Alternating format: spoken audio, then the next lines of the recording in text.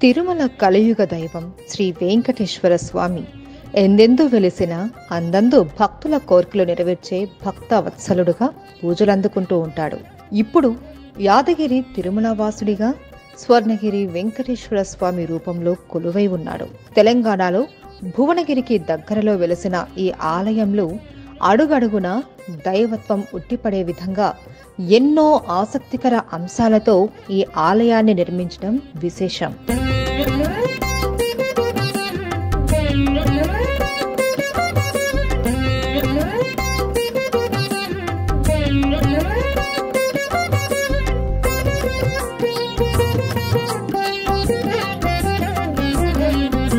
తల్లిదండ్రుల కోరిక మేరకు ఈ ఆలయాన్ని నిర్మించినట్టు ఆలయ చైర్మన్ మన్నేపల్లి రామారావు కుమారులు తెలియజేశారు.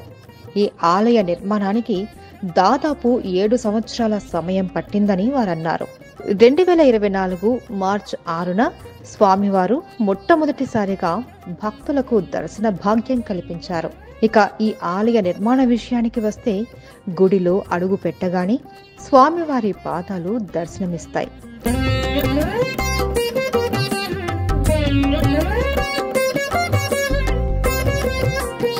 అక్కడి నుండి నూట ఎనిమిది మెట్ల మార్గాన గర్భగుడి వైపు వెళ్తూ అడుగడుగున స్వామి నామాలు స్మరించే విధంగా అక్కడ స్వామివారి నామాలు రాసి ఉంటారు. అలాగే స్వామివారి దశావతారాల రూపాలను ఈ మెట్ల మార్గంలో మండపాలుగా నిర్మించారు. విగ్రహాలని పాలరాతితో ఎంతో సుందరంగా చెక్కారు శిల్పులు.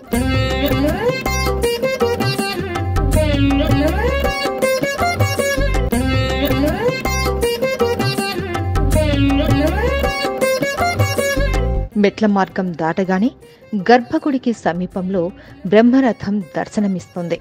గర్భగుడిలోకి ప్రవేశించే ముందు ఒకసారి ఆ గోపురాల్ని గమనిస్తే భాగవతం మొత్తం మన కళ్ళకు కట్టినట్టు కనిపిస్తుంది. క్యూలో వెళ్తున్నప్పుడే ఒకసారి గోపురం వైపు చూస్తే ఆలయ శిఖరం దర్శనమిస్తుంది.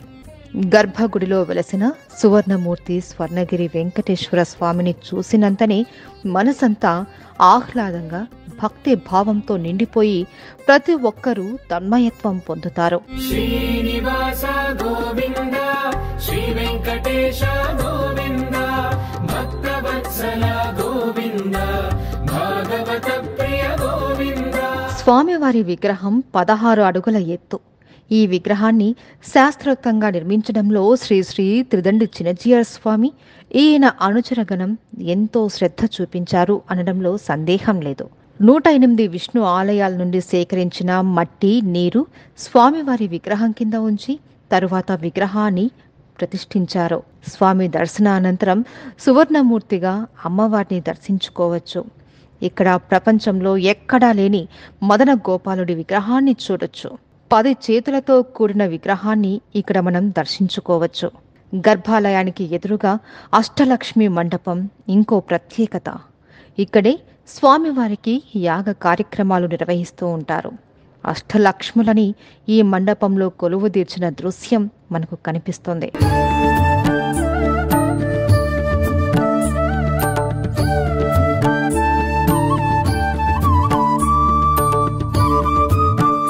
ఇక్కడ ఉన్న స్తంభాలు వేటికవే ప్రత్యేకత. ఒక్కో స్తంభం ఒక్కో రూపంలో ఉంటుంది. కానీ దేనిని మోగించినా ఓంకారనాదం ధ్వనిస్తుంది. దర్శనానంతరం గర్భగుడి వెలుపలకి రాగానే తిరుమలలో మాదిరిగానే ఇక్కడ కూడా విమాన వెంకటేశ్వర స్వామిని చూడొచ్చు.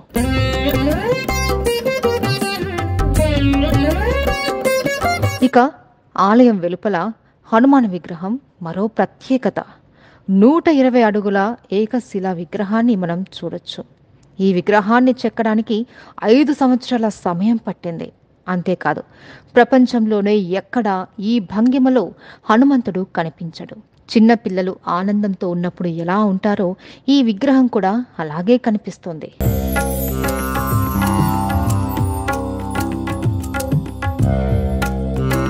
ఇక కంచు మ్రోగునట్టు కనకంబు మోగున అన్నట్టు పదిహేడు వందల కేజీల బరువున్న జయగంట ఇక్కడ ఉంది. ఒక్కసారి ఈ గంటను మ్రోగిస్తే మూడు నిమిషాల పాటు దాని తరంగాలు ప్రతిధ్వనిస్తాయి.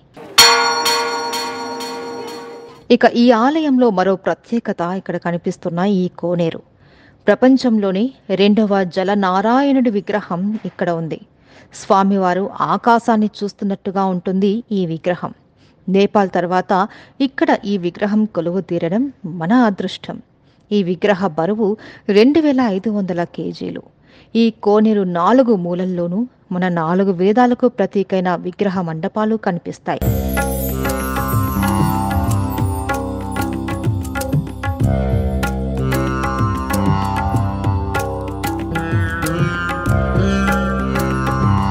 ఒకేసారి పన్నెండు వందల మంది కూర్చొని స్వామివారి కళ్యాణాన్ని తిలకించడానికి వీలుగా ఇక్కడ కళ్యాణ మండపం కట్టారు.